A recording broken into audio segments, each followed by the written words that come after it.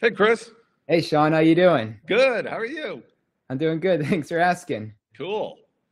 All right. Let's get right to it, man. You got questions? Oh, oh yeah, I believe I do. Let's So- go for it.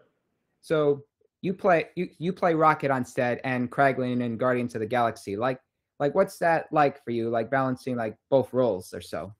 You know, it's it, it, it's I've been increasingly doing more work as Kraglin. Um, we try to split up the work so that I'm not doing both on the same day very often. And if we do, it's usually mostly Kraglin's day with just a second of Rocket or vice versa. Um, but I love playing both characters and I prepare for them differently. And I just whatever the day is, that's the that's the the hat I have to wear that day. Exactly. And you do, and I'm really loving that you're getting more out of Kraglin in the movie. Oh, thank you. I wanted to personally congratulate you on something real quick. Okay.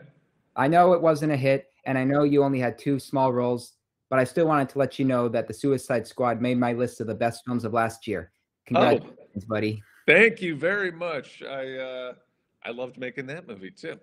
Oh, And, yeah. Um, yeah, COVID kind of hurt box offices for everybody around that time, but uh, you know, it's it's great. It's, it's seen a huge audience. So yeah, Well, Rod Reaper once said, it, just because they weren't big box office hits doesn't mean they aren't entertaining. yeah, right. Of course.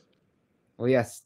I mean, like, it's like, how was, like, so so how was Comic Con going it's on? uh, it's nice. I haven't done many. I, this is only the second one I've done since uh, before COVID started, so it's been a while, and I'm uh, I'm happy to be back out here. It's nice.